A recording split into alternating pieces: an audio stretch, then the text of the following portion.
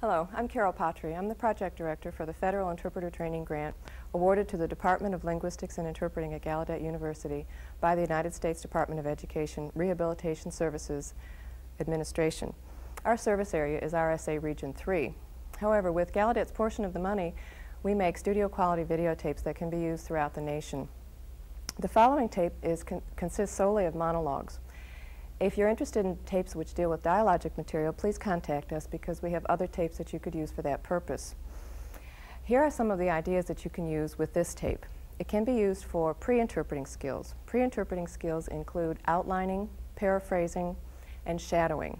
By outlining, we mean that the student could listen or watch the tape and then list the main ideas and supporting ideas. By paraphrasing, we mean watch the main text or the source text and restated with other lexical items but preserving the same meaning. And by shadowing, we mean that the student or practicing interpreter is asked to repeat exactly what the source message is. However, they start slightly after the source message, message begins, that is maybe three seconds up to perhaps 30 seconds delay. Uh, shadowing is a very good predictor of interpreting skills.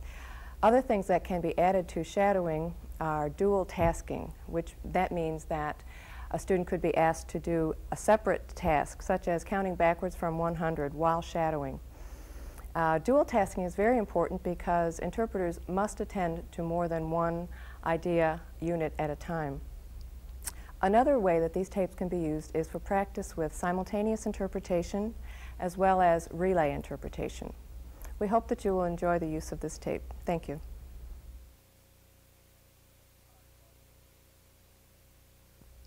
Hi, I'm Bob Johnson. I'm the chairman of the Department of Linguistics and Interpreting at Gallaudet. Today I'm going to be talking about a topic that is not directly related to my work or to deafness, but which is related to my favorite avocation in life, which is fly fishing.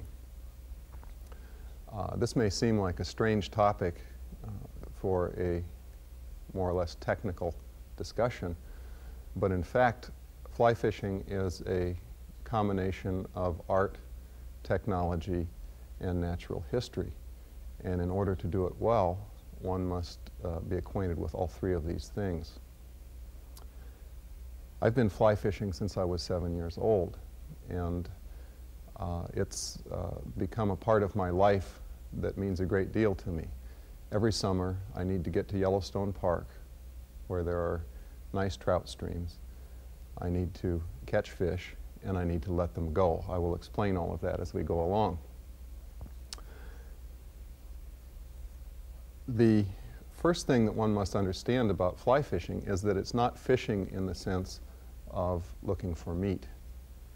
If I want to eat a trout, I can go to Safeway and pick one out of a tank with a net, and it will cost me a lot less money than if I were to eat one of the trout that I catch in Yellowstone. I estimate the cost of the trout that I catch in Yellowstone at $75 a pound. And that's why I need to let them go because I can't afford to eat meat that costs $70, $75 a pound. Uh, the art of fly fishing uh, has to do with an appreciation of nature and an ability to learn enough about the behavior of an ecology that you can rather smart, cold-blooded animal think that it's getting a free meal. Uh, this involves tricking it with a lure that we call a fly. We call it a fly because it looks like an insect. Now, to understand why that's important, you need to understand something about the ecology of a trout stream. Fish, will, trout in particular, will only live in particular kind of water where there's a particular kind of feed. And the feed that they prefer are very small insects, aquatic insects, which have a rather interesting lifestyle. They, of course, hatch from eggs like all insects do, but their parents had laid the eggs on the surface of the trout stream. The eggs sink to the bottom and begin to, uh, begin to grow. The insect will go through four stages before it dies. The first stage is called a nymph stage, N-Y-M-P-H. At this stage, uh, the insect looks a lot like a cockroach, but it lives under the water. It has gills and can breathe under the water. And it lives there for roughly a year. Uh, the fish love nymphs, but, and, and they probably compose about 80% of a trout's diet. So that means that the trout eat a lot of food from the bottom. At a particular day that's biologically determined by a clock in the trout, the nymph begins to, or the insect begins to shed its shell and it swims to the surface of the water. This stage we call an emerger. It sits for a moment on the surface of the water, floating along and looking very desirable to a trout because now it's come out from under its rock and it's easier to get at. And within moments, it crawls out of its exoskeleton and becomes a different looking insect. Now it's a beautiful long insect with long tail and upright wings that uh, are almost transparent. But because it's wet and because it's just transposed from a water-breathing animal to an air-breathing animal, it needs to sit on the surface of the water for a moment. At this stage, we call it a dun, D-U-N-N. And it, as I say, it looks entirely different from the nymphal stage. So it sits on the water for a minute, drying its wings, and then it flies into the air where it lives for one day.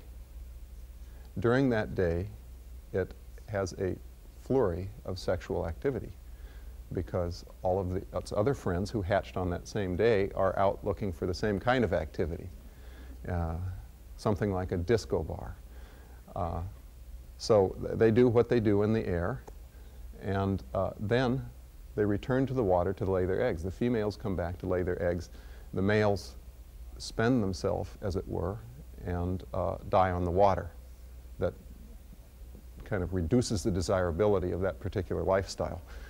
Uh, the females come back, sit on the water, and drop their eggs, and the eggs go down into the water, and exactly one year later to the day, the eggs will hatch, and the cycle will repeat. Now, this is what trout eat. A good-sized trout will eat 2,300 bugs a day. But the trick is to figure out how to make your lure look like what they're eating. So you have to understand a lot about the trout, too. You need to understand water conditions, times of day that cause them to do it. And for some reason, all the trout in the stream decide to eat the same stage of insect at the same and the same species. In a good trout stream, there will be 30 or 40 different species of these bugs, and all the fish will only be eating one stage of one species at one moment. So this is why I say that you have to know something about natural history the technology of it comes in how you're going to present the food information to the fish. And first you have to prepare yourself. To do this, you get into your waders, which are a lot like the bunny suit that you used to wear when you were a kid to sleep in. It's a thick piece of neoprene, about a half an inch thick, and you roll it on, and it comes up to here. It has little suspenders to keep it up. It's, very, it's body tight so that if you fall into the water on the slick rocks, it won't fill with water and, and uh, drown you. In fact, it's, it's somewhat buoyant, so you might just float down the stream and go over the waterfall instead of drowning. Uh, you, over the booties of the waders, you wear heavy boots, canvas boots, uh, which have felt on the sole so that you won't slip on the slick rocks. So that's the, that's the basis of it. This keeps you dry and warm because the trout streams are quite cold. On the top, you wear a fishing vest, which is kind of the, the uh, central stores of a fisherman. A fishing vest has pockets all over it, maybe 15 or 20 pockets, depending on how much money you're willing to spend. And in each pocket, you keep a, a, a different tool for your fly fishing. And then, of course, you have the fishing pole. Now, the fishing pole for fly fishing is one in which the uh, reel, the part that winds up the line, does not do very much work. And that's because when you're fly fishing, the only way that you can present uh, an, an artificial insect to the trout is with a rather heavy line. So what you do is you take a pole that's nine feet long, formerly made of bamboo, now made of various kinds of composite carbonates, uh, costing a good deal of money because of the high technology. Uh, you take your long pole and you put out 30 or 40 feet of line, and it's a rather heavy line. And then you wave the line in the air so that you can get it where you want. This is not the kind of fishing where you just do one cast and it goes where you want. You have to hold the line up in the air by waving your pole back and forth. And then when it's time, when you see where you want to lay the fly, then you put your arm out and the line snakes forward, lays out in a very flat line on the water, and the fly will drift for 20 or 30 feet if you're very good at it without any pull from the line. Uh, so that's the technology of it. On the other end of the line is a very thin piece of monofilament nylon. Actually, it's a tapered piece. It goes from uh, about the width of a piece of sewing thread down to the width of a spider web. And it will break at about one and a half pounds of, of uh, tension you can catch a five pound or 10 pound fish on that because the pole is also flexible and acts like a shock absorber. So you have a nine foot piece of monofilament so that the fish cannot see the line attached to the fly. And then on the very end, you have what we call a fly. And that's where most of the art comes in. In order to create a fly, you take a hook, eh, which of course is a, a round, uh, bent piece of metal. Now, as we do it, we use hooks without barbs. Most hooks that you've seen have a shank, a long piece, and a curve, which we call a bend, and then a point. And immediately behind the point, there's what we call a barb, which is the backwards hook that keeps the hook from coming out of the trout's mouth.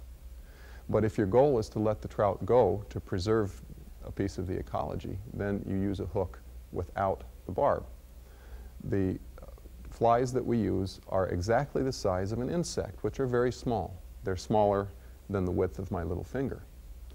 Um, and they're made of this hook as its basis, and then uh, thread, feathers, and yarn wound around the, the shank of the hook so that they imitate the image of a fly. There are, as far as I know, there are probably two different, 2,000 different kinds of trout fly, each one designed to look like a different stage of a different species of insect and uh, they're beautiful to look at, nice to collect, and each has its own name. One of the classics is a royal coachman, which is a lovely fly. Uh, it's made with its tail is made of the hackle feathers of a fighting cock. Then the next uh, little stage of it is called a herl, H-E-R-L, which is made of a single feather from a peacock plume and it's wrapped around the, the, uh, the shank of the hook so that it spreads out and fans out around and makes a herl. And then there's some bright red uh, floss, scarlet red floss, another peacock herl, two wings made from matching quills from a wood duck, little tiny wings that stick up, and then what we call a hackle, which again is made from the neck feathers of a fighting cock but it's tied in such a way that you tie the end of it in and then you wrap it around and it too fans out. And that's what makes the fly float on the water. It also makes the trout think that it's a fly uh, or an insect flapping its wings. It gives the impression of very rapid movement. Uh, and then there's a head which is made of thread and uh, all tied with special hooks. I'm sorry, with special knots. So uh, you can see that this is a complex thing. This is not sitting on a riverbank. Uh, this is not the definition of uh, fishing that we ordinarily think of, which is a jerk on one end of the line waiting for a jerk on the other. This is a, a kind of art that it takes a lifetime to practice. It's something that uh, involves as much work off the water as it does on the water, and it's something that involves uh, an enjoyment and knowledge of nature uh, that's unavailable in any other kind of activity that I know.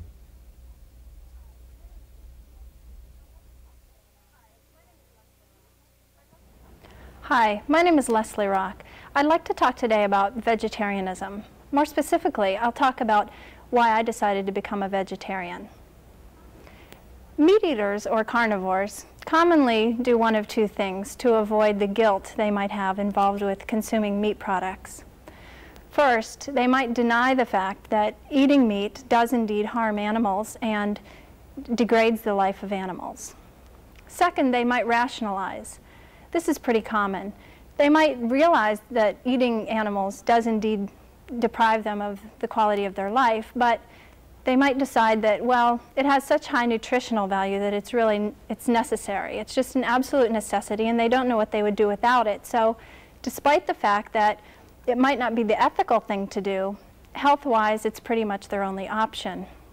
I'll talk about both of these things. will involve two main reasons why I became a vegetarian. First of all, there are ethical concerns.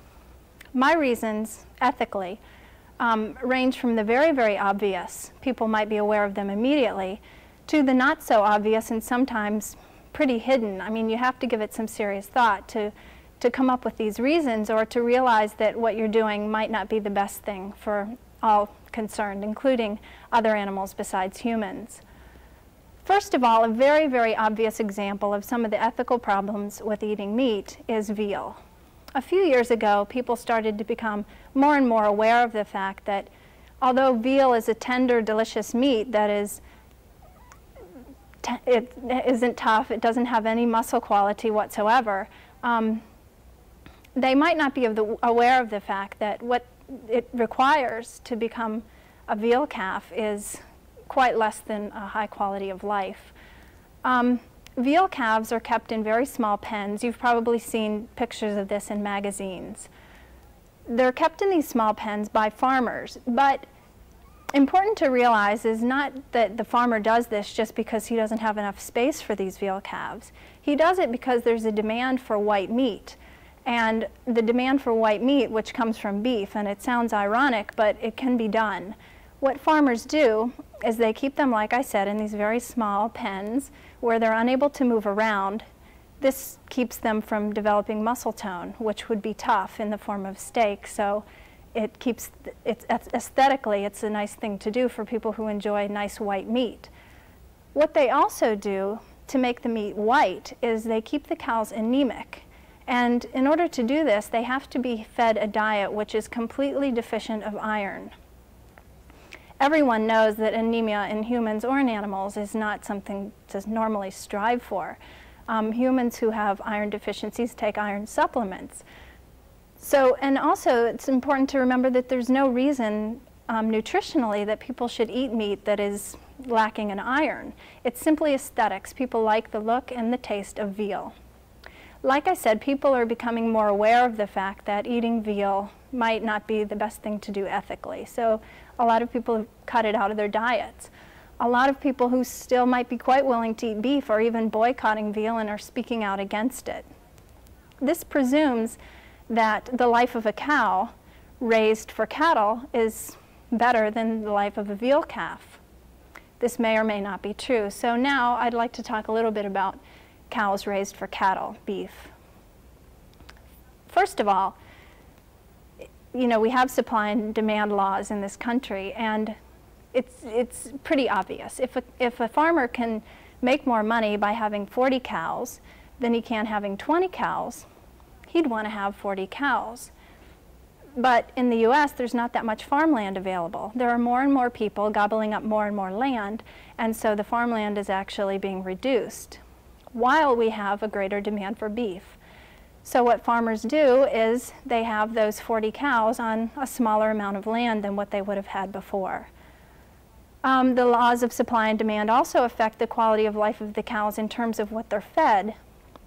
If you can feed 40 cows um, or feed 20 cows, you would want to feed 40 cows, even if this requires using the same amount of grain.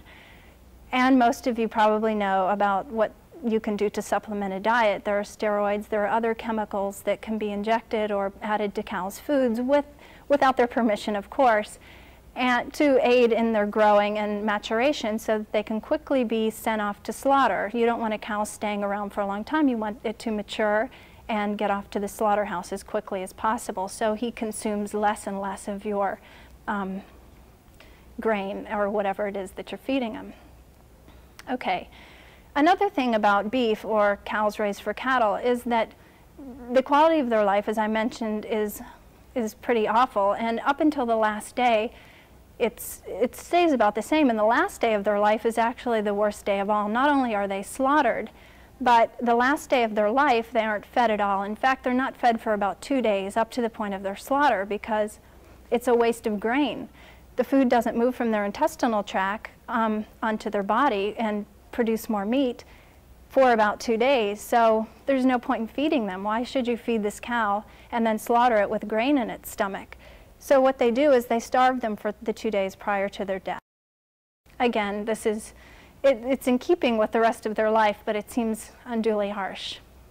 The third thing I'll talk about is chicken. While most Americans have cut out red meat, most Americans have not cut out eating white meat, and this includes chicken and other poultry since the, the demand for chicken has grown so much over the past few years, and like I said, land for, for farming and, and livestock hasn't increased, farmers have to deal with that. So they pack more and more chickens onto less and less land. Presumably, their profits would be growing so they would have more money to feed these chickens, but they don't feed the chickens individually, they feed them in group. So there becomes intense and fierce competition for food if you put down however much grain you're going to put down to feed your chickens and then it's a free-for-all, well, you can imagine if some of them aren't getting the food and nutrients they need, it's like any other animal with competition. They become quite violent. Um, so much to the point that often they peck at each other until the other one's death. And that, of course, presents a major problem for farmers who are raising chickens in mass. They want as many chickens as they can possibly get, and if they're killing each other, it doesn't do the farmer any good, and certainly doesn't do the meat consumer any good because prices will go up. So what farmers do routinely to combat this is, um, is a, something called debeaking. It's rather cruel. They cut the chicken's beak off right at the, at the base so that the chickens can't peck at each other. And that's a fact. That's something that they do. It certainly solves the problem of them pecking at each other, and it seems in the farmer's eyes to have solved the problem entirely. However, it's quite painful for the chickens. Okay, the fourth thing I'll talk about, I've covered veal, beef, and chicken, and this is a more, like I was mentioning, some of the forms of um, carnivorism are more subtle than others. Um, the fourth category is animal products which are not eating the flesh of animals, like drinking milk from a dairy cow or eating eggs from a hen. Okay, um, simple biology tells us that only half of all chickens or cows born for this purpose will be able to be used. That is, only female chickens can lay eggs and only female cows can produce milk. So what happens to the other half? Well, I doubt that they're allowed to go free. I mean, they're perfectly viable sources of an animal product for human consumption. So the male cows are, are, raised and fed for beef, and the female chickens, I mean the male chickens, sorry, are raised to be um, poultry. So you can see that just by eating, by eating chicken eggs and by drinking milk, you're still contributing to um, the degradation of the life of animals. Okay, so that pretty much covers the ethical reasons why I don't eat meat. And actually, I should point out that that was really the reason why I stopped eating meat in the first place. But since I have stopped, I've noticed considerable health benefits, which I think are worth mentioning. First of all, meat and poultry contain a lot more fat and a lot more cholesterol per ounce than do vegetables and grains. Seems pretty straightforward, but at this time, most doctors are advising that people eat less fat and eat less cholesterol and reduce their cholesterol levels. A simple way to do this is to become a vegetarian and with no ill health effects that I've observed so far. Also, when you cut out eating meat, you don't fill up as fast and you have more room, more appetite for some of the good things, such as fiber. Now, when you stop eating fat and you start eating more fiber, it seems that the net effect would be much greater than just cutting out one or increasing the other. So what happens when you become a vegetarian is you you cut out the fat and you consume more fiber. You actually have the same appetite as before, but it takes a lot of vegetables to produce that full effect that you would get from meat. So you're able to eat a lot more and a lot more good things at a lower calorie cost. Also, I should mention that um, if you have a potato, which weighs about 10 ounces, for example, and you have a 10 ounce steak, you have to take into consideration the calories, not just the ounces. So you can't measure just strictly ounce for ounce. So that 10 ounce steak might have, say, 350 calories, maybe more. The potato, 90 calories. So you could really, presumably, you could eat four potatoes. Not saying anyone would, but just to measure things calorically is more important than to measure ounce for ounce. You could also supplement by eating other vegetables, which is what you should do. In fact, you shouldn't just eat four potatoes. The last thing that I'd like to talk about is protein concerns. This is every time I tell someone I'm a vegetarian, they say, How do you get enough protein? And I'm sure I don't look like I'm lacking protein or lacking any other vitamin or mineral, but this is just something that people always say. They feel like it's practically the only thing you can say when someone says they're a vegetarian is how do you get enough protein? And really, I'm sure if I ask those people where they're getting their vitamin A or their calcium or their vitamin E, they wouldn't be able to tell me. It's just that protein has taken on this life of its own. It's become the most important um, vitamin or mineral out there so that when someone cuts it out, there's all this hoopla. People have written books about complementary proteins, getting complex carbohydrates. If you miss one of your eight amino acids, none of the other seven work, all of this stuff. In actuality, it's pretty much a myth. It's true that you need to have protein, but it's not true that you need meat to have protein. You can get protein from a variety of sources. Some of the well-known sources are nuts, grains, and beans. Um, some of the other sources, which are not so well known, are things, vegetables, like the potato is very high in protein.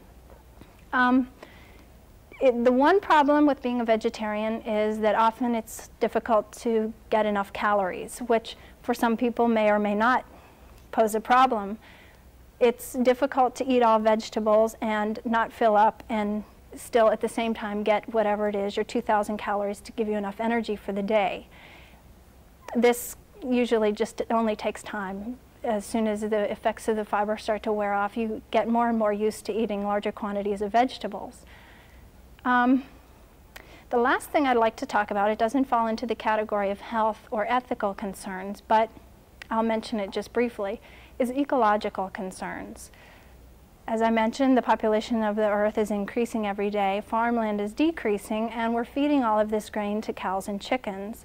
At the same time, people in third world countries and even in the United States are starving because they don't have this grain.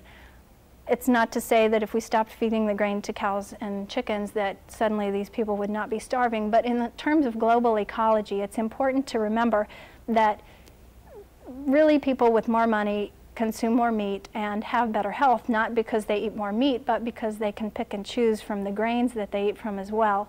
But if people were to stop eating meat, it certainly our world resources would be distributed more equitably and more evenly, resulting in probably less starvation.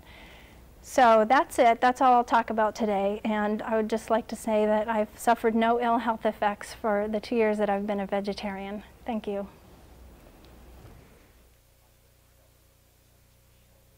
I'm Ben Kelly, and I'm with a group called the Institute for Injury Reduction.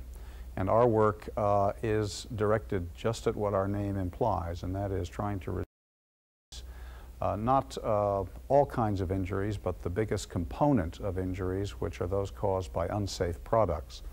I'm going to talk to you this morning or today, at whatever time it is you're looking at this tape, uh, about some unsafe products that uh, you are very commonly uh, associated with, and all of us in society are, but we may not be aware of. Uh, but first, let me give you a little bit of the cultural and the uh, historical background to how we think about injuries in our society and why it has really taken us so very long to get a good handle on ways to reduce injuries. Uh, if you look back into Deuteronomy, the Old Testament laws, you'll find one law that says, uh, very interestingly, that when you build your house, and keep in mind that Uh, this was directed at folks living in the Mediterranean in Old Testament times where everybody uh, slept on the roof at night in order to keep cool. So the law was that when you build your house, you are to build around the roof a parapet so that when your sleeping guest rolls around in his or her sleep, uh, the guests do not fall off the roof and be hurt or killed and bring the blood and the guilt of their injury onto your head. In other words, to put it in modern terms, when you make something that may hurt somebody, do your best in the design of that product to prevent that injury from occurring. Uh, but that, as it turns out, is a very, very new concept in our society. Uh, historically and theologically, uh, blame has been placed uh, on victims for their illness and for their injury. And I think you can, can probably think of many examples of bad people being the alleged explanation for illness and, and disease and for injury. Uh, lepers uh, were traditionally thought to be victims of, of, of God's uh, ill will because they had done something wrong. Sick people through the ages have been treated with a mixture of good science and bad folklore uh, and bad theology. The judgments about the victims of injury uh, and their responsibility for their own acts began to abate in the 18th and 19th centuries. And now basically we have a modern approach to, uh, to illness uh, and to injury that says uh, we're not interested in finding out uh, whether it was bad acts that caused uh, human impairment. We're interested in stopping that impairment.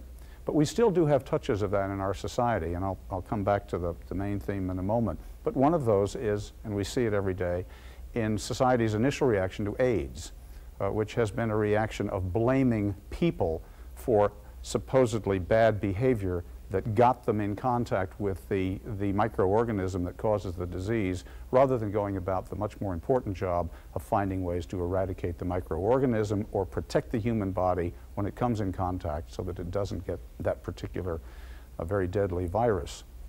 These same concepts apply to injury, and these same failings have applied to injury, uh, and uh, probably can be summed up by such expressions as well, those stupid teenagers, look how, look how they drove. You know, well, those, those drunken kids, they got in that car, and what can you expect? Uh, or, well, that guy was driving too fast, and that's why he hit the rear end of that other car, and that's what caused the fire. The fact of the matter is that the, the causes of the events that can produce injury and the causes of the injury are very, very different. And let's go back to the automobile, which is, is where uh, I wanted to um, start and what I want to talk with you about a little bit about the systems that are designed to protect us and sometimes that unfortunately hurt us in the modern automobile that we come into contact with every time we get into a car uh, and take for granted and really don't think about. Uh, one of those systems is the seatbelt system. Now 20 years ago, seatbelts were an oddity in the United States.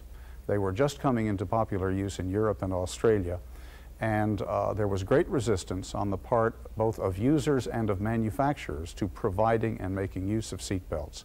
Today, uh, we take it for granted that most folks put their seatbelts on because they're required to by law, and that uh, it is correct, as the little placard often says on the side of the car, that if you buckle up, you'll be safe. Uh, seatbelts give us a very good and sometimes frightening lesson of, of just how injury reduction can work or not work. And let me give you some examples in the seatbelt systems that we all come in contact with today. When you get into your car, you are getting into a product that inherently has a tremendous amount of energy built into it, and which at any time, although we don't think of this as we're driving happily or grumpily along the roads, at any time can turn on you in a crash situation, very often one over which the driver has no control, and become a, uh, a discharger of highly lethal energy. And this happens in a matter of literally thousands of a second. In those thousands of a second, there is virtually nothing that the occupant or the driver can do to control the injury. The decisions as to whether those injuries will happen or not happen have already been made in advance by the manufacturer of the product. And those decisions will determine what kind of a safety belt is in the car or what kind of a restraint system Modern cars are equipped with airbags, and I'll talk about those a little bit in a moment. and how well that car will manage the forces of the crash so that those forces uh, are attenuated and kept away from the occupant as effectively as possible. Let's uh, go into our heads and, and go off and be driving down the road for a moment in, in some different kinds of cars. And, and I'll play the game of switching seatbelt systems around and you can kind of follow along and imagine that with me. Uh, let's say we're in the standard American car made between, say, 1975 and 1990, and we're in the front seat.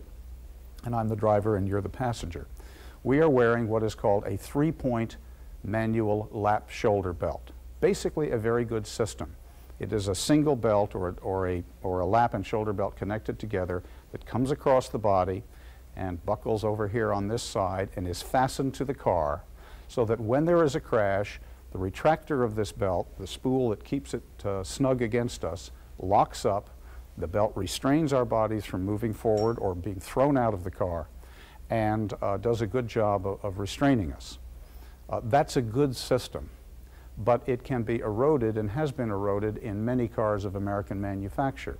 If now we're in a car made, say, by General Motors uh, during much of that same period, unfortunately, the shoulder portion of the belt, in which we're, which we're now using, may be loose. And it may be loose because the manufacturer has put a device in the, in the belt to make it loose so that we'll be more comfortable.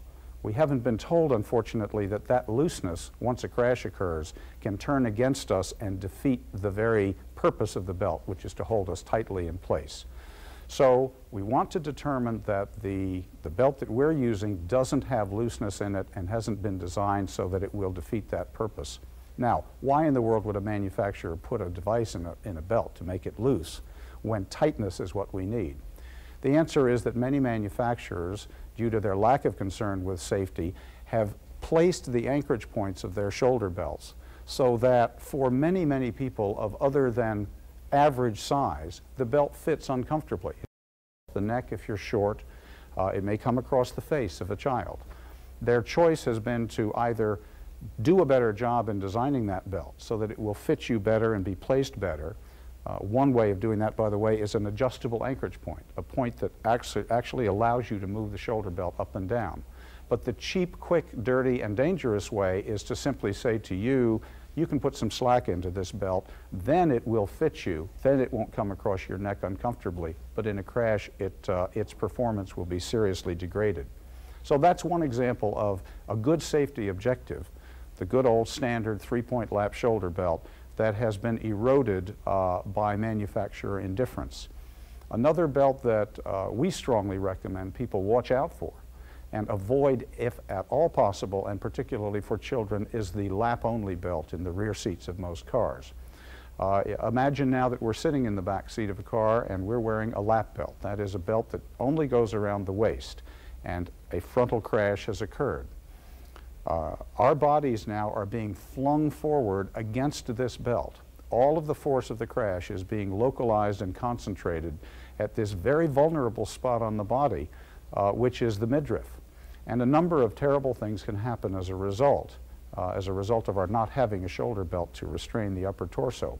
One is that heads will fling forward, and heads can impact the floor, the knees, or the interior of the car uh, with serious brain damage, and this is a common cause of brain damage. Uh, another is that the abdominal organs can, can be traumatized, and there can be uh, death from internal bleeding or very serious permanent injury such as permanent colostomies. A, final and very common and tragic outcome is that the spinal cord can be damaged with resulting paraplegia or, or lower level uh, quadriplegia depending on where the belt is placed. Very, very belatedly, the manufacturers have begun to equip their new cars with rear seat lap shoulder belts so as to avoid these injuries. And this is particularly imperative, as I've said, for families with children because children are commonly the, the folks that we put in the back seat. So they are commonly the people who are most exposed uh, to these kinds of injuries. Still, there are 140 million cars on the roads today that do not have shoulder belts in the rear seats, and those cars uh, present highly lethal restraint systems for their occupants. Coming up to today, and the most modern of cars, we find the fleet of cars made since the late uh, 1980s and particularly since 1990 are equipped in their front seats with so-called automatic restraints. Now, all automatic restraints are not the same, and in fact, they, run, run they range from uh, terribly inadequate and sometimes hazardous systems to very, very effective systems. Uh, I, I, will give you the bad news and then end with the good news. The bad news is that these so-called automatic belts, these are belts that supposedly put themselves on you so that you do not have to do the job of buckling up, are in the vast majority of cases designed so that they have very serious safety defects. I will point out two of those to you. One is the design which we are seeing uh, more and more commonly in new, in new cars, in which the shoulder belt is attached to the door. It may be attached to the door through a motor, it may be attached to the door at a fixed point. Uh, but the, the central problem is that because it is attached to the door and not to the car, when the door opens in the crash, and doors open in crashes some 12 to 15 percent of the time, suddenly the belt has been removed from the occupant at the very moment when the belt is most needed and nothing is restraining the user and keeping the user inside of the car. So we have an anomaly of goodwill, people of goodwill, safety conscious people choosing an automatic belt because they think it's better and finding that at the moment that it is most needed, it lets you down. Uh, and this is resulting in uh, well-documented deaths and injuries. And our prediction is that manufacturers eventually, because of litigation uh, and, and bad publicity, are going to be forced to, to stop making these systems. Nonetheless, there are tens of millions of cars out there with these systems today. Uh, the, the other drawback uh, to automatic belt designs is that many of them have a separate lap belt. And users will get into the car, have the automatic shoulder belt come across the body, and completely forget uh, that they must still do this. That is, they must make the motion of buckling up that they've always had to make, uh, and if they did not, uh, they would be at risk. A shoulder belt alone, and, and if you have this kind of car, I urge you to use the lap belt each time you get in. A shoulder belt alone is one of the most hazardous belt systems imaginable. It has been outlawed in Europe for two decades because of the kinds of injuries that it can do, hanging injuries and upper torso injuries as well as ejections, and it should not be permitted in American cars today. It is a sad commentary on the, the backward state of safety regulation that these systems are even allowed. Uh, those are the bad news uh, sides of the ledger, but let's look at the good news. The good news is that more and more cars are being equipped with airbags.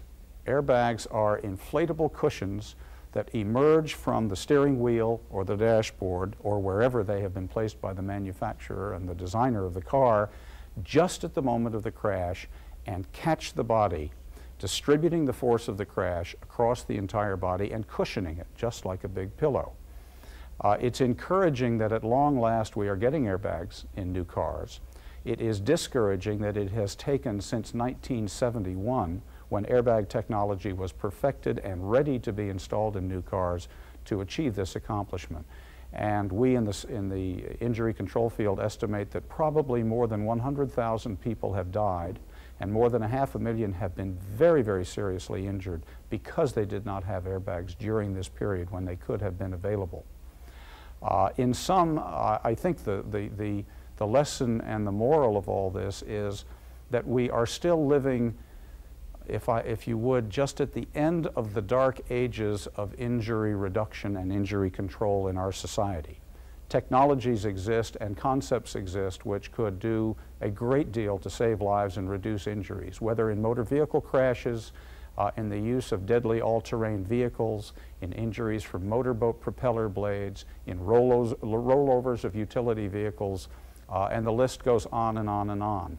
When the day comes that manufacturers are made responsible for making their products safe, and we stop blaming the user each time something goes wrong, uh, we will begin to make all the necessary progress to remove injury from its very dubious uh, place as the number one killer of Americans age birth to 50, a place it has occupied for all too long, as the most expensive health problem in the nation, costing us well over $50 billion a year. And uh, we will bring this problem under control. Thank you. My name is Bob Fish, and I am a real estate broker from Maryland. I'd like to speak with you a little while about the third most stressful event in life. According to psychologists for the National Association of Realtors, the acquisition or disposition of personal property is the third most stressful event in life. It is third only to the death of a family member or divorce. We're dealing with uh, something that's, uh, that's a pretty serious matter. And for us in the real estate industry, it's, it's very important to know that. We uh, encounter people at a time when they're excited and, and, and they see this process as a lot of fun.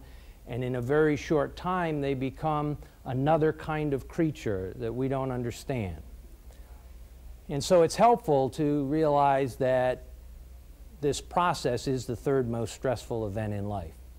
Now, one of the things I'd like to mention to you is the single most important decision that you as a prospective purchaser or seller will make, and that is the real estate agent you choose to represent you. Many times, when you are out to buy a home, you believe that in choosing a real estate agent, you have selected someone who is going to represent you in this transaction. And that can be a primary reason why later on there is a great deal of stress because a real estate agent, unless it is otherwise negotiated, is the representative of the seller. In fact, a real estate agent has a fiduciary responsibility of absolute fidelity to the seller. That's a standard uh, of civil law, which is the highest standard of civil law that can be applied in the United States. So the relationship of agency which is the relationship between a real estate agent representing a seller in a transaction, is a rather important relationship.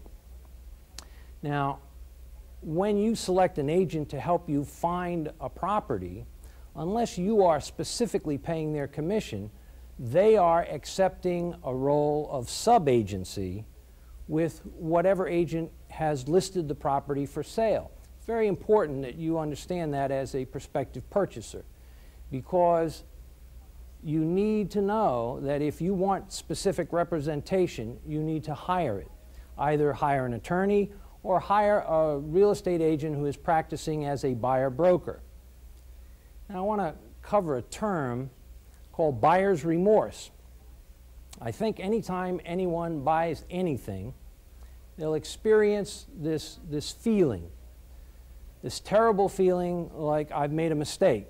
And we get uh, a sickness in our stomach, there's an adrenaline surge, and I'm just absolutely certain I've done the wrong thing.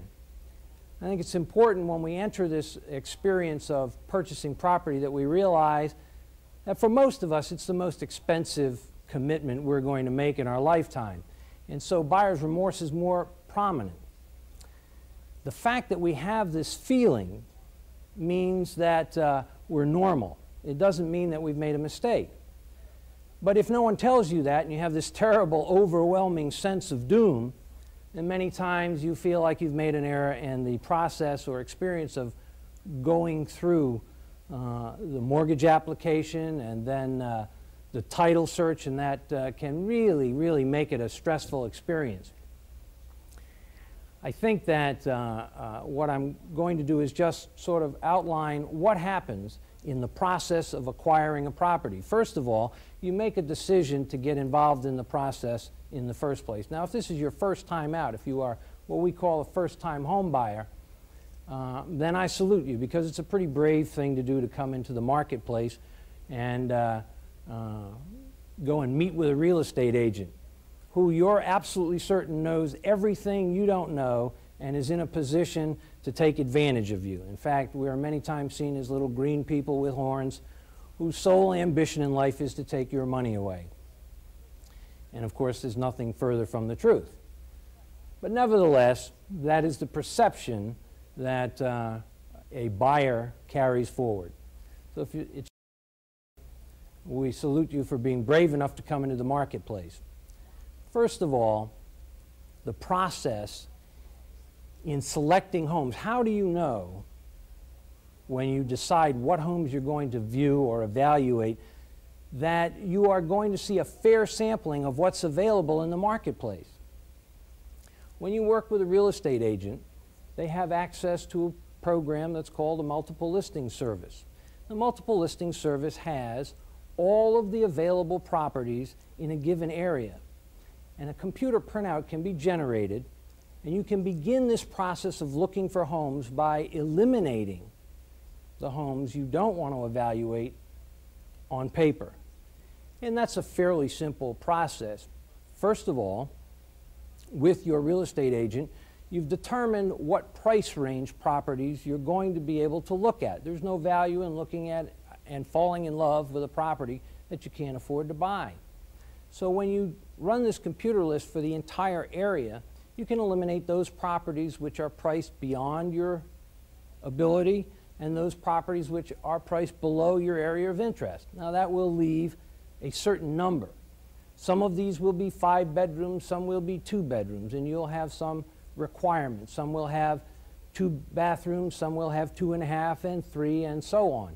And so you're able to eliminate properties on paper and therefore cover hundreds and hundreds of miles in a very few minutes. The other thing that this does is when you've made your selections, if you're driving down the street later on and you pass a property for sale, you don't have to say, well, what about that one? Why didn't we look at that one? You probably did. And we're able to eliminate it. Now, this process will take a great deal of the stress out. The stress is usually produced by the idea that I'm going to make a mistake, that I'm going to do this wrong. I'm going to commit myself to a hundred or hundreds of thousands of dollars worth of error. And so, by entering this process of selection, and I want to caution you not to uh, meet a real estate agent at a property and hope that they bring with them two other properties for you to look at. When you decide to get into the market, go to a realtor's office, have them run this sheet for you, and go through this selection process. It takes a little bit of extra time, but it's well worthwhile. There's also another thing that will occur. You'll have an opportunity to decide whether or not you want to work with this agent. In spite of the fact that you are now aware that the agent is going to represent the seller, a certain amount of what they are going to do will have an effect on the smoothness of this transaction. So you want to make certain that whoever you select, you're comfortable with them. You, you, you have a feeling that they are going to be able to carry out the requirements and the requests that you have, get you the information that you need. That's an important thing. Once you make a decision as to what properties you want to evaluate, as you go to see properties, try and only look at three or four. Beyond that, what happens is we begin to take the fireplace from one property and put it in the living room from another. So as you evaluate properties, eliminate them. That is the purpose, is just to eliminate, no, this one's not right, and go to the next one. Generally, if you take the time to eliminate properties on paper, carefully select the properties that you want to evaluate, most of the time you're able to find the property that's right for you in the first day out. Sometimes it takes two days. But generally speaking, we find that you can actually find the right property for you in one day. That eliminates a lot of stress. Then, once you make an offer, generally that offer is carried forward by the real estate agent, and there is some time that occurs while you sit and worry. Now, I'm going to recommend to you, in fact, I'm going to give you, I'm going to become a doctor and give you a prescription for buyer's remorse because this is the time when buyer's remorse becomes most prevalent. It's right after we sign that contract offer to purchase. So I'm going to recommend that you go to a 7-Eleven store or a High's or the grocery store and procure a bag of M&Ms. And every time you have that sick feeling way down in the pit of your stomach, what I suggest you do is take two M&Ms and call your real estate agent. Because what is really happening is there's a question that you don't have the answer to. Did I pay too much? Will I be approved for the loan? And the time it takes to Call your real estate agent, let the candy help to diffuse the adrenaline, and you'll feel better. You'll also have a little chuckle every time you think about taking two M&Ms and calling your real estate agent. That goes a long way towards helping you to overcome this, this terrible feeling of impending doom. Good luck, and thanks.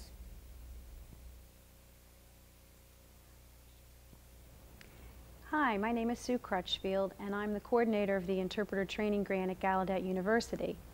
But uh, today I don't want to talk about that. I do want to talk about one of my favorite part-time activities.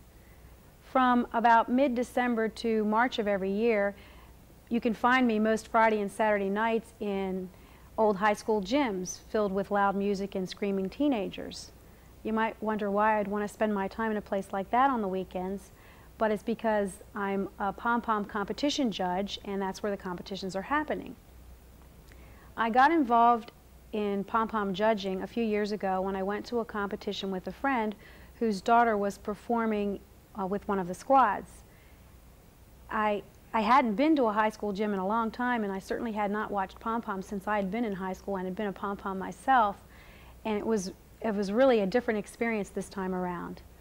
As my friend and I sat waited for the competition to begin, we saw the judges file in. There was a team of six or eight of them and they looked very professional and uh, this was definitely different from the kind of judging that I had seen when I was a, affiliated with Pom Pom Squad before.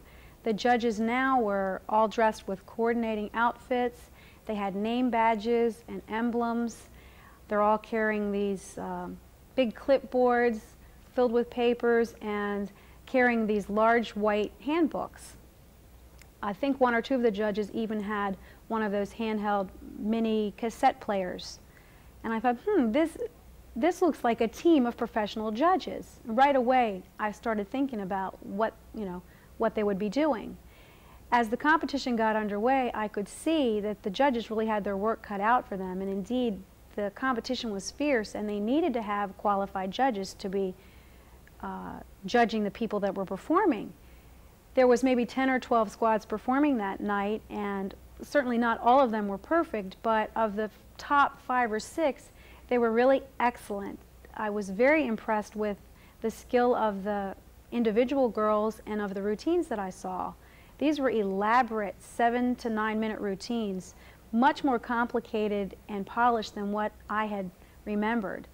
Back in my day, we took the competitions very seriously and we did prepare for them vigorously, but we certainly did not perform for seven to nine minutes. And I mean, some of these routines looked choreo choreographed by professionals, and maybe they had been. So um, I could see, like I said, that the judges had their work cut out for them, and I was very interested in getting involved. I couldn't imagine how the judges could determine the best squads from among some of these that seemed to me, at first glance, to be almost perfect. So I got involved as a judge.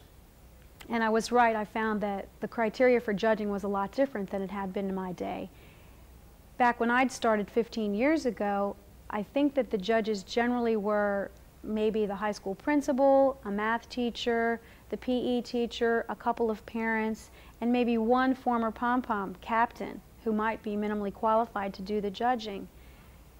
Um, obviously, there are some problems with that kind of setup because those people are all affiliated with one school and they're not going to be as objective looking at their own school. And I mean, a math a math teacher may or may not be qualified to judge a pom-pom competition.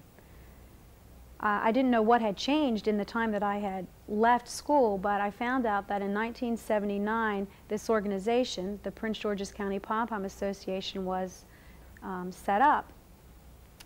Uh, a group of probably former pom-poms, coaches, sponsors, teachers got together and decided that they needed to define the sport more than it had been in the past what exactly is a pom-pom routine supposed to be like, what is a competition supposed to have happen, what kind of judging categories should be looked at.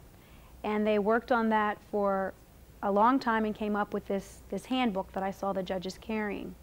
It's really quite thorough. They've defined the art of pom-poms as uh, movement to music. So it's not the same as cheerleading where I mean, there's no shouting going on. This is a combination drill team dance routine that we were seeing. I found out that to become a judge, you had to go through a training and successfully apprentice each category, and I'll discuss what the categories are in a minute. You had to successfully apprentice each category before becoming qualified in that category. Uh, there's judge, there's a score sheet for each of the categories that's different according to what the category is. It's a carbon copy type of thing, and all of the sheets, a copy of all the sheets goes back to the judge's chairperson, and they particularly look at what the apprentices are, are writing on the sheets, whether the comments are appropriate, whether this person seems qualified to judge that category, and I think that's good. There's some quality control that they hadn't had in the past. Uh, and judges that continue to work year to year, their sheets are still periodically um, looked at by the judge's chairperson because just to make sure that they're still on the right track and that they're making appropriate comments and that they're being objective. Uh, the, let me talk about the, the judging categories now. There are six categories that the judges are looking at, and I'll list them and then I'll go over briefly what some of them entail. They are inspection, marching and maneuvering, which we call M&M, precision moves and dance, which I will explain, general effect, routine, and captain. Now the captain cate category is judged separately. There, so I'll talk about that last. But of those other five categories, whichever squad scores the most in the combined five categories is, is the winning squad. Generally they have a trophy for the top three or the top five squads. There is one judge assigned to each category for a competition. So if, if they're having inspection at that competition, there would be six judges. Each judge is only looking at that one particular thing. For example, the inspection judge is not looking at the captain, and the um, precision moves and dance judge is not noting uh, the routine. Um, most of the judges that work for the Prince George's County Pom Pom Association are able to judge any number of categories. Some specialize, maybe they might prefer one or two categories over another, but most of them are qualified. I mean, they're considered qualified to judge in all the categories, and they're just hired for a particular category that night. I, for example, don't feel very comfortable judging M&M. I'm not particularly fond of doing inspection. The other categories a lot. And there's some people who do almost all M&M judging because that's what they really like, and they can have it because I'm not very good at that. So I'll start with inspection. Some of the competitions don't have inspections. It's up to the school that's hosting the competition whether they want to have the squads go through this. But probably more than half of them do. Inspection, for the inspection, the squad um, is led into a particular area outside of the gym before they perform. They get into a particular formation and stand at whatever they term attention. For example, the squad might line up all in a row, all 20 or 28 girls, and stand with their pom-poms together looking straight ahead. Whatever the team decides is what they want to do for that five or 10 minutes that the inspection is going on. That's the way they have to stay for the entire inspection. So of course they want to pick a position that's fairly comfortable because, I mean, they're going to be there for a long time. Back when I was involved, I remember that we, we had this policy of always smiling we smiled through everything. We smiled through the entire inspection. I think all the squads did that. That was sort of the standard thing. That's pretty much been dropped now. I mean, a squad could, if they decide they want to smile through the whole inspection, then they can hold this, you know, very fake frozen smile for 10 minutes. Most of them opt for just an expressionless face looking straight ahead, which is fine. The inspection judge is looking at two things, uniformity and neatness. The uniformity is they're really looking at everything from uniform spacing between the girls, uniform position of feet and hands, uniform eye gaze all in the same direction, as well as um, appearance from head to toe. Basically, each girl has to have the uniform look exactly the same as the other girls. They have to have exactly the same sock, you know, set of socks that they're going to use. The shoes, if they're, you know, white cheerleading shoes or something have to be exactly the same brand and they have to be absolutely spotless. So the inspection judge um, carries that clipboard around with the score sheet with a place to, to check off any place where there's a mistake. And each mistake that they see in any of those things I've mentioned or you know, any number of other kinds of mistakes, uh, the squad is deducted one-tenth of a point. The inspection is worth 20 points, and no squad is, is going to get a negative. If they, if they happen to have all of their tick marks checked off and they ended up with a zero, they, they're not going to go into the negative column. I doubt if that would happen. And surprisingly, even though the, the judge is being very picky and is looking at things like one thread hanging down from a hem or a different color blue ribbon in the hair, a lot of squads get an almost perfect score in inspection, which is amazing. Um, every year there's some discussion as to whether inspection really needs to be a part of pom-pom competition. I mean, it's not a performance. I mean, is it, you know, is it really necessary that we include that as a judging category? And every year it's voted on by different members of the organization, and it's the squads and the representatives from the squads that want to keep it in. The girls like to do it. They like getting psyched. They like preparing for it. They like having their hair all done exactly the same way if that's what they choose to do. I don't like judging it. I feel, I feel bad staring at these girls and looking for mistakes. I'm, I mean, I've done it and I would do it again, but I'm, I don't really enjoy it.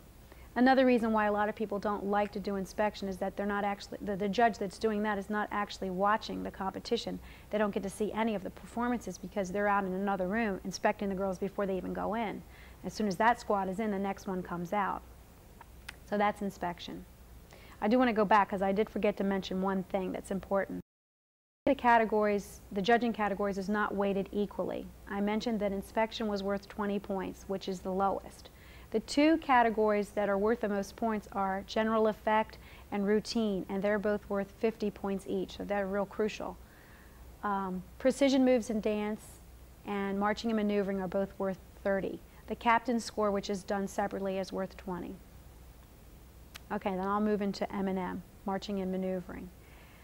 Uh, the judge that's doing marching and maneuvering is down on the floor rather than on the platform with the other judges holding the clipboard and walking around among the squad while they perform, looking at mostly their feet, their footwork, and how they're getting from one place to another. That's the two kinds of movement from one place to another they call marching, which, I mean, we know what marching is. There's lots of different styles of marching. Some squads have a signature style. They do one with a real high knee, and some do these strange things where they're running like horses. I mean, there's all kinds of different kinds of marching that they do and maneuvering, that's just all the other kinds of ways of getting from point A to point B. You could do dance steps, leaps, run, there's all kinds of things you do. And the judge is looking to see how well the girls are going from place A to place B. Do they know their position in line? Do they know where they're supposed to be going next? Are they getting there in the right way? When they do get in position, whatever the formation is, are they lined up correctly? Um, is the spacing right? Are the girls using the right foot when they're supposed to be using the left foot? And again, on the M&M score sheet, there's a place to tick off for these kinds of mistakes like alignment and spacing. That is a category, again, that I'm not very comfortable judging because there is so much going on. There's so much to see. There's 48 feet. I, I can't see it all, and I feel like I'm missing quite a bit of it. Some judges love it. Um, but it's not the category that I feel most comfortable with. And in fact, I probably will never judge it again because um, I'm much better at some of the other categories. Moving into precision moves in dance.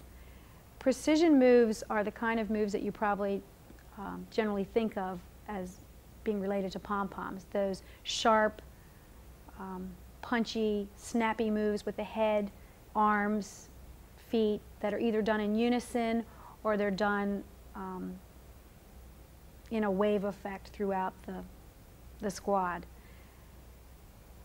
Dance, obviously, that's dance moves.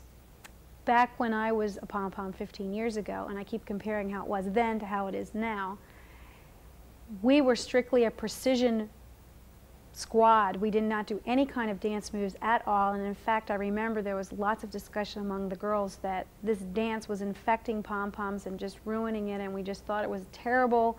Uh, the art of pom-poms was uh, deteriorating. And it's funny now when I think about it, but now most of the squads do a balance of maybe 50% precision type moves with dance mixed in, in however they want to design their routine. And in fact, a good routine is now defined as one that has a balance of dance moves and precision moves. The judge that's looking at precision moves in dance is looking at the execution. How well are these kinds of moves being done? Um, are the girls on the right foot? Again, do they know the step? Are they all doing it exactly the same way, which is crucial with pom-poms. The uniformity is the number one thing that they're looking for. Um, if there's a kick line, are all the kicks at exactly the same height?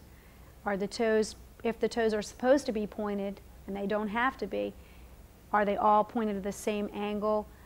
Those are the kind of things that you're looking for with precision moves in dance. There is some overlap in that category with, say, marching and maneuvering. I mean, some of the maneuvering steps are dance steps, and they're going to be looked at in both of those categories. But again, the judge is looking for execution, how done, as well as the variety of steps that are put into the routine, how difficult are they to do, how original are they. I like to do that category, that's fun. I have some dance background and I like looking at those different kinds of things. Um, another category that's a lot of fun to do is general effect. That's a big one because it's worth 50 points.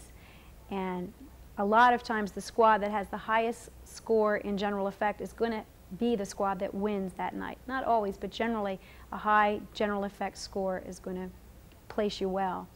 General effect means I mean, how all the parts are put together. Is the performance as a whole entertaining? Does the squad know what it's doing? Is it doing it well? Are they giving 100%? Are they peppy when they're supposed to be peppy? Um, I mean, the, the, general effect, that's you know, sort of self-explanatory. Uh, the judge that, that's looking at general effect is the one that's using the tape recorder, and they have a running commentary from the moment the team starts um, making comments, you know, mostly constructive criticism or positive comments, things that they liked, things that they found interesting. And at the end of the competition, that cassette tape becomes um, the property of the squad, so they can listen to it at their next practice when they go over how well they did at the competition. And so that's very important to have. Um, uh, another category that a lot of people don't like to judge, but that I enjoy, is routine. That is the only category where the judge is not looking at the execution at all. They're not concerned how well the moves are done. They're simply concerned about the choreography. Is it a well-designed routine? Does it have a good balance of different kinds of moves? Is it is there good floor coverage? I mean, basically, is the routine well I mean, well designed, not well done?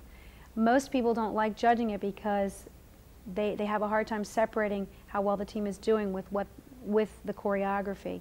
For example, if a squad is really, if a squad has a pretty well-designed routine, but they haven't practiced very much and it's not perfected at all, and the unison is off, it's sometimes hard to tell that it's a good routine. But I like that category. I enjoy looking at that. Let me make sure I covered them all. Inspection, precision moves and dance, marching and maneuvering, general effect, and routine right? Those are the five main categories. The only one left is captain. And that, like I said, that is a separate category. Regardless of how a team does, um, a captain can place first, second, or third herself. The person who's doing the, the judging of captain looks at just that one person in each squad, follows them through the whole routine to see how well they do the routine, do they know their part, and do they do it well. And that, that person gets a score for that. Um, so it's possible that a school that's not doing very well might have a captain that does a good job or vice versa. Usually the very good squads are going to have a good captain as well, but it doesn't always work out that way. Um, I like judging that one a lot because it's only one person to look at and it's I mean, some people think it's boring because you don't get to see the whole routine, you don't get to see the other girls, you don't get the full effect of the ripples or anything like that. But that doesn't bother me because I like to look at just the one person. I find it's relaxing and I can do a good job in that category. I think I covered the basics, but I just wanted to leave with one more comment. And that is that I realize that, that the term is silly, pom-poms but I'm glad to see that it's becoming a more legitimate high school sport for girls. I, I think that the athletic ability and the determination and the hard work that, that goes into pom-poms is equal to the kind that um, is given for soccer, football, or any of the other high school sports. And I'm actually I find watching pom-pom competition a lot more entertaining than watching a football game.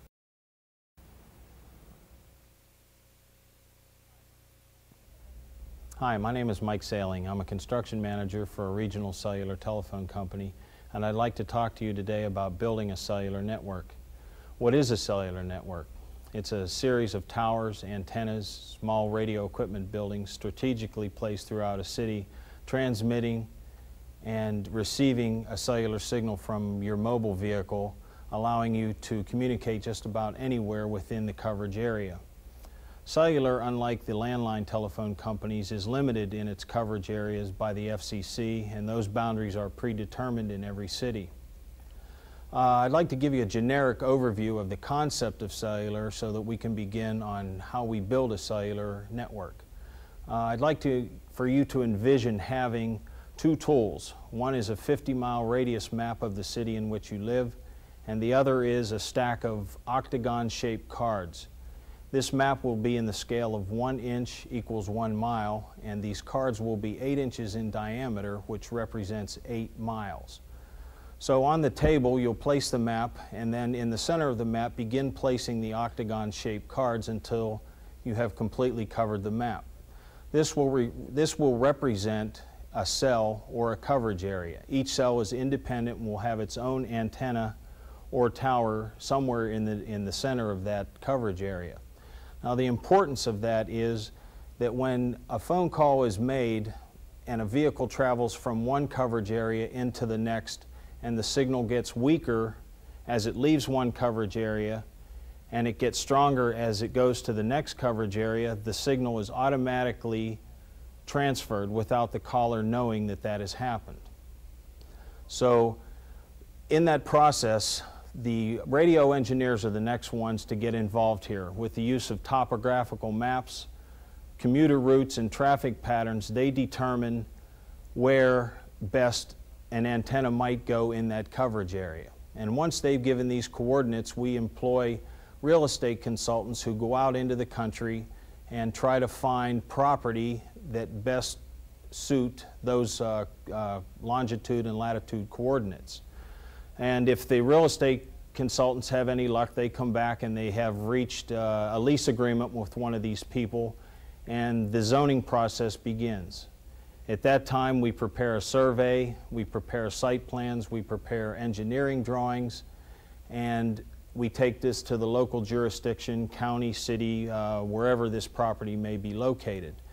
And the zoning process seems to be the most tedious process that we go through.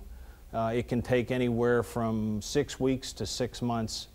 And uh, usually uh, it's just a very tedious process. And, and some of the problems we've had have been in the high concentrated areas of, um, of cellular use seem to be the most difficult to, uh, to get zoning because the people, uh, we call it the NIMBY syndrome, not in my backyard.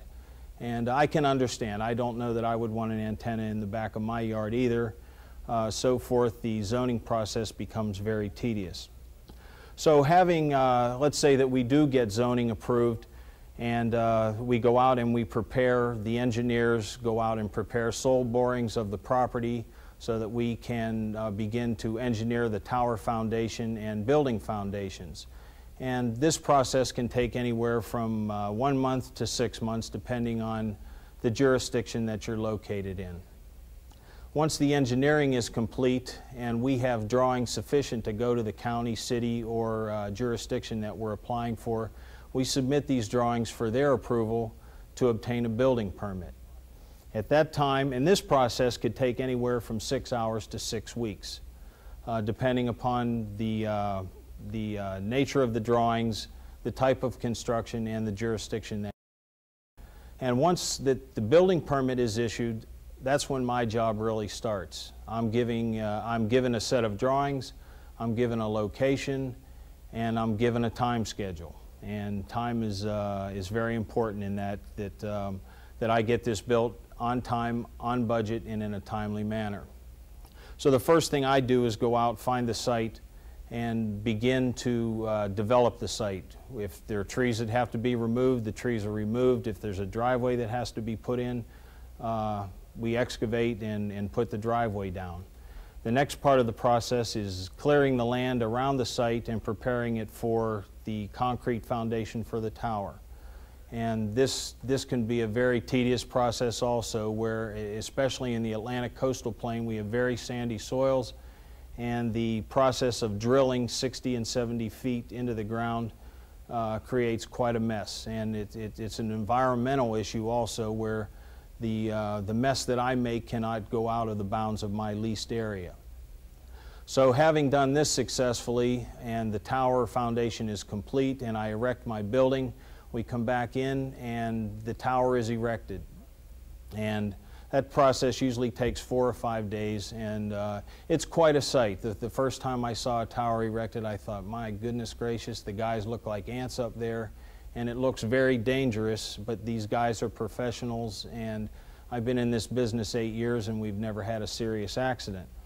So having had the tower erected, the building placed, the driveway in, uh, the next step is the power company, the commercial power company and the telephone company in that area bring their utilities into the site. They get hooked up into the building and the equipment inside is activated. The cell site is turned on and another area has cellular coverage. Thank you.